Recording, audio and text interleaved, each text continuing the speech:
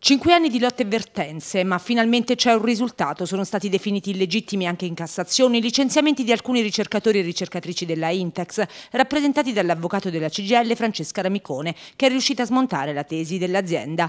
Purtroppo però, nonostante le sentenze, il danno dei lavoratori è irreparabile e questi non riusciranno, a causa del fallimento dei debiti ingenti dell'azienda, a recuperare le somme loro riconosciute dalla giustizia. Di qui l'invito alle istituzioni dei sindacati affinché non permettano più a soggetti imprenditoriali così di entrare in città e creare queste situazioni.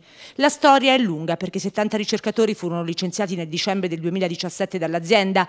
Intex nel 2017 ha deciso di chiudere il centro di ricerca e sviluppo dell'Aquila. Tornando indietro nel tempo, nel 2011 Intex acquisì Technolabs, nel 2014 Intex SPA si scinde in due compagnie, una virtuosa e l'altra già nata in sofferenza economica. Nel 2016, vista la situazione, iniziò pure un confronto con le istituzioni, si cercò un percorso con la spesa economy, ma nulla di fatto, e poi licenziamento che per i lavoratori non ha neanche seguito le procedure di legge.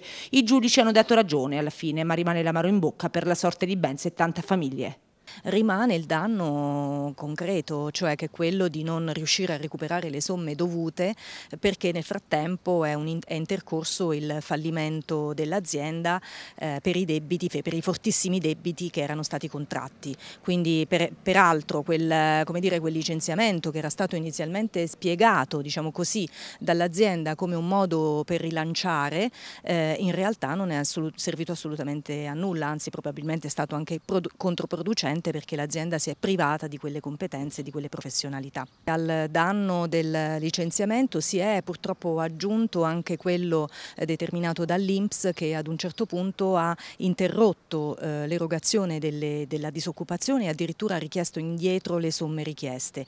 Anche su quello siamo dovuti andare per le vie legali e anche su quel fronte i lavoratori hanno avuto ragione, grazie naturalmente al supporto dei legali della CGL.